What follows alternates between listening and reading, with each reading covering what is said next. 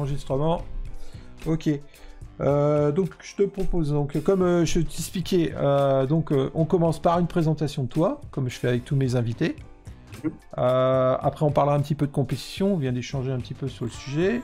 Si tu as des anecdotes aussi sur la pêche, parce que en fait, alors moi je te connais en tant que pêcheur de, compétition à la carpe beaucoup, mais est-ce que tu as pratiqué la pêche au, blanc? Est-ce que tu t'es venu tout de suite à la carpe? Direct. Direct. Ok. Et quand tu disais tout à l'heure, euh, tu me disais en off, euh, ça fait. T'as commencé, t'as fait la batterie et le coup en même temps Et t'as commencé quand au coup en fait alors? En fait, bah, en fait, moi j'ai baigné directement euh, dans la carpe au coup dans les années, je veux dire, je suis né en 82, donc à peu près j'avais 5 ans quand j'ai commencé, tu vois, donc en Belgique. Ah ouais, d'accord.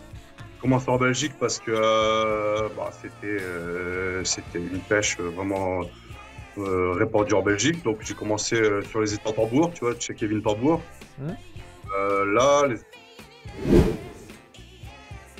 donc pour te dire, et encore, on pêchait avec des élastiques au blanc parce que les élastiques à carpe ça n'existait pas, donc des élastiques au blanc qu'on mettait en, en 3 ou 4 fois dans le sillon. Et on bloquait ça avec un bouchon de liège et un bouton, tu vois, un bouton de chemise. on faisait un nœud, puis voilà, ça bloquait à l'époque, même les tulipes, euh, les tulipes, c'était les tulipes en inox. Ah ouais, ah, j'ai pas connu moi ça par contre. Et du coup, ça en fait, euh, pour ma connaissance et ma culture personnelle, euh, ça vient, parce que pour moi, la pêche à la carpe, on va dire style carpodrome et tout, ça vient de l'Angleterre. Mais ça a commencé plutôt sur la Hollande, la Belgique que, que, la France, ou c'est arrivé à peu près en même temps? Énormément la Belgique. Et euh, en fait, en France, ça a dû arriver euh, dans les années 80. Bah, il y a Gérard Trinquier qui a lancé euh, le phénomène dans, dans son secteur. Mmh. Et après, dans, moi, mon père, en 1990, donc si tu veux, je pourrais te renvoyer les, documents, les photos, il a fait un record du monde avec son collègue d'endurance de pêche. Donc en fait, c'était un truc de 22 jours à la canne au cou. Donc à l'époque, c'était 10 mètres de canne, 10 mètres de fil à la carpe. Et euh, ils ont pas encore du monde à rester plus longtemps à pêcher comme ça. Bon, après, il y avait aussi un créneau, euh, mais c'était sous huissier, c'était encore du monde en fait. Ah ouais Ouais, ouais, je t'enverrai ça. Euh. Et c'est de là en fait que j'en ai encore discuté là avec les gars de chez Sansas, parce que vendredi j'ai été chez Sansas, où ils ont commencé à lancer leur gamme 3000 carpes, tu vois. Ok. Où, bah, en fait, mon père, à cette époque-là, c'était une pêche amorce, euh, vie maïs, asticot, tu vois. Ouais, c'était, ça restait une pêche euh, en amorce traditionnelle, on va dire. Il n'y avait pas encore les appâts. Justement, pour jeter euh, des èches à quasiment 20 mètres, des grosses boules d'amorce, tu vois. et c'est de là qu'en fait, on a commencé, bah, ils ont commencé à, bien vendre les 3000 carpes. je me souviens à l'époque, fine mouture, grosse mouture. et puis après, ben voilà, tu fais en aiguille, la carpe au cou a commencé à se développer mais vraiment dans les petits plans d'eau. Mais en France, c'était pas encore réputé. Hein. Tu vois, c'était vraiment en Belgique où il y avait que ça. Et je pense qu'en France, ça a dû arriver un petit peu, un petit peu avant les années 2000, tu vois. Commencer à avoir un ouais, c'est ça, ouais, ça. Puis après, bah, c'est grâce aussi aux marques comme Colmic hein, qu'ils ont mm. commencé à lancer les cannes, les Atomic Car. Ah, euh. C'est vrai que c'est Colmic pour moi euh, qui, ont, été. Bon, il y a eu Milo aussi qui faisait, mais comme tu disais tout à l'heure, mais Colmic c'est quand même ceux qui, ont lancé une grande gamme euh, qui se sont vraiment spécialisés dans cette technique. Quoi. Et je pense que quand Colmic a commencé à vraiment développer des cannes gros poissons comme ça à carpe, ça a commencé à bien prendre. Bah, moi, je pars dans le nord de la France. Après, dans les autres régions, je pense pas, mais par chez nous, ça a fortement développé. C'est pas tout à fait. Alors, du coup, comme moi, tu as connu la furie de la pâte alors? Alors, la pâte, alors. Ah, la pasta. Moi, bah, je veux te dire qu'on a quasiment commencé avec ça. Parce que, tu sais, à part mettre euh, des asticots et du maïs à l'hameçon, il y a un moment, il fallait trouver une alternative parce que le poisson, bah, c'est bien, même dans ces années-là, ça commençait à, à devenir tatillon, hein, l'écart. Donc, du coup, au début, on a essayé de trouver une solution avec des granulés. Donc, moi, je me souviens, à l'époque, j'avais lié des granulés sur du fil je piquais à l'hameçon, mais une fois sur deux, ça se barrait. Et après, on avait, bah, il y avait le granulé lapin qui fonctionnait bien. Donc, on, tu vois, granulé pour les lapins. Donc, on trempait ça avec de l'huile de, de poisson, un truc comme ça. Et on commençait à faire de la pâte. Ça tenait bien, mais sans plus. Et après, il y a eu le trou Donc, le trou c'était le fameux pelé avec euh, énormément de sang dedans. ça, ça faisait un carton par chez nous. Après, euh, quelques années après, ça a été interdit. Mais ouais, la pâte, moi, je peux te dire qu'à l'âge de 5 ans, j'ai commencé à pêcher la carpe à la pâte. Euh, à 5 ans, c'était 87-88. Donc. Euh, et je commençais à découvrir la, la, carpe à la batterie. Donc tu vois, je suis.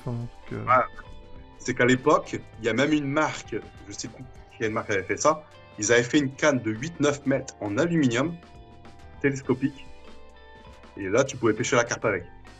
Je te dis pas, le poids de la canne, c'était un truc de fou. Mais c'était une canne en aluminium télescopique. Wow.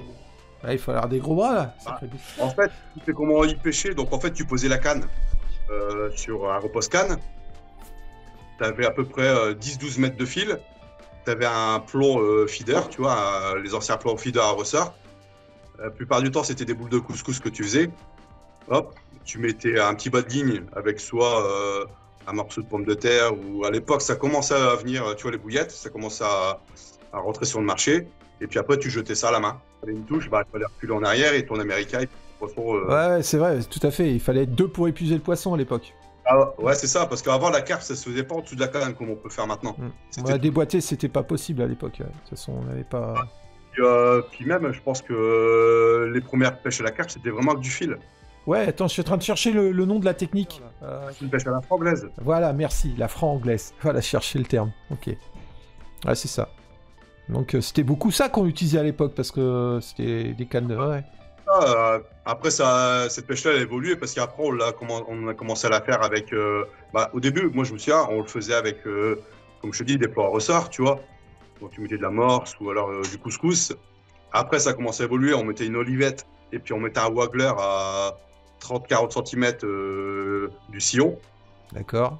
Ah C'est sûr que ça partait. Et après, on a évolué dans la pêche du renard.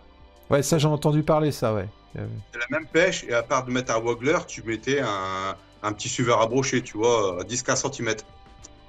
Mmh. Ouais, c'était déjà les ancêtres euh, du pole feeder, en fait. pole feeder que moi j'ai pratiqué pendant, j'ai pratiqué pendant de, pas mal d'années. Hein. J'ai même fait euh, une vidéo à l'époque bah, pour un magazine, tu vois qui a été supprimé. Mais j'avais fait une vidéo sur le pole feeder, tu vois. Donc le pole feeder avec 10 mètres de canne, 10 mètres de fil. Ah ouais, comme... Petite cache feeder, et puis je pêchais à 20 mètres. Mmh, d'accord.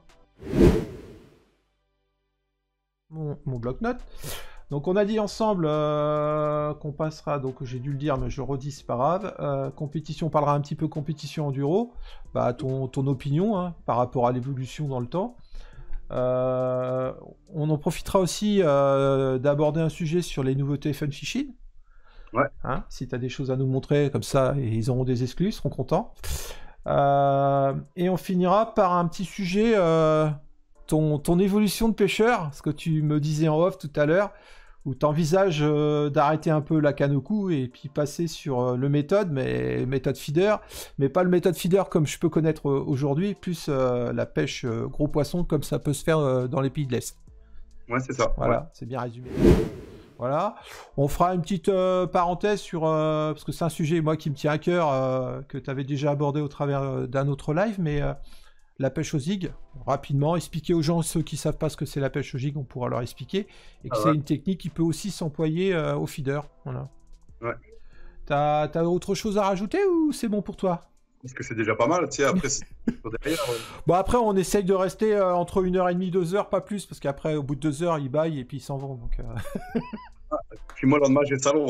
Ouais, en plus, ouais, donc, ouais, bah, on pourra en profiter, comme ça, tu, seras au salon de, de Cambrai, alors, c'est ça? C'est ça, ouais. Ok.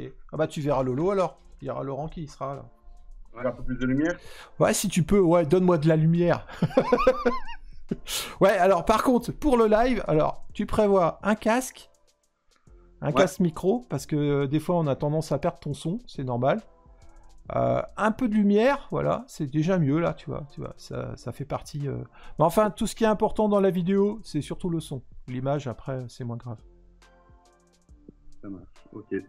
Donc, euh, tu veux que je te dise quoi? Vas-y, bah improvise. Tu sais improviser, tu sais parler, il n'y a pas de problème. improviser. Euh, je vous donne rendez-vous le 3 février à 21h au Coffee Time de Titi. Donc, si vous n'avez pas de questions concernant la pêche de la carpe, euh, du méthode feeder, des questions sur fun fishing et nouveautés, n'hésitez pas, je vous répondrai ce soir-là. Voilà, bonne soirée. Ok, super.